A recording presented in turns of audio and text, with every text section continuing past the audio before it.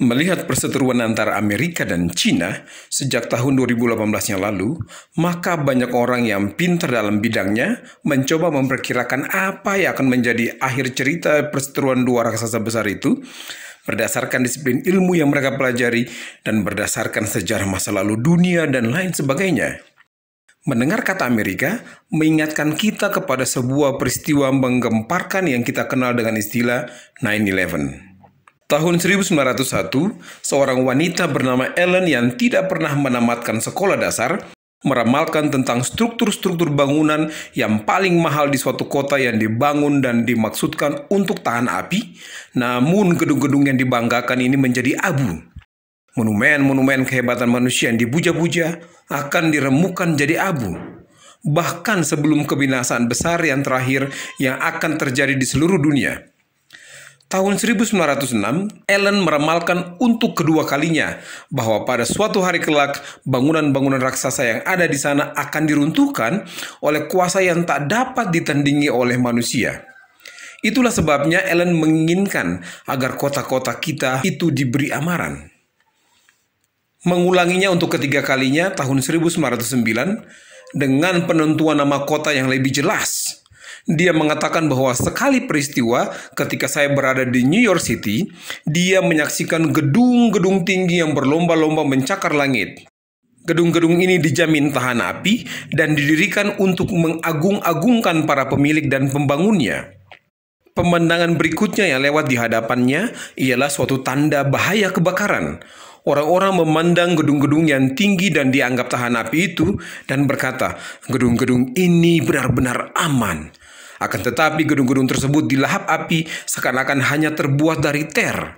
Mobil-mobil pemadam kebakaran tidak dapat berbuat apa-apa untuk mencegah kehancurannya. Para petugas pemadam kebakaran tak sanggup menggunakan perlengkapan pemadam api.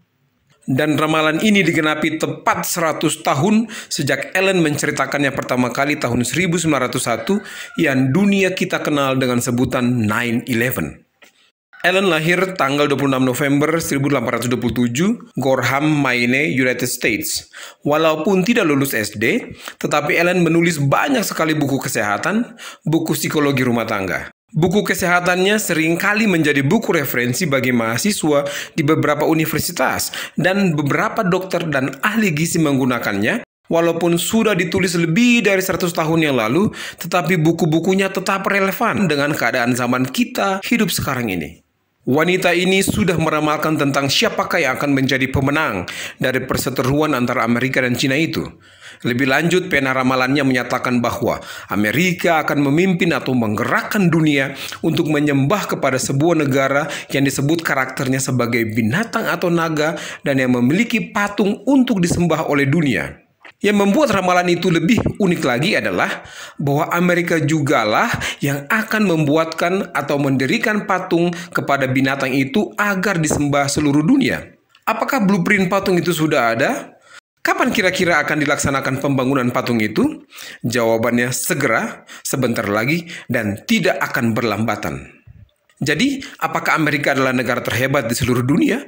Jawabannya bukan bukan Amerika yang terhebat dari semua negara di dunia, karena Amerika pun akan menyembah patung yang dibuatnya itu, ataupun menyembah kepada sebuah negara yang karakternya sebagai binatang atau naga itu.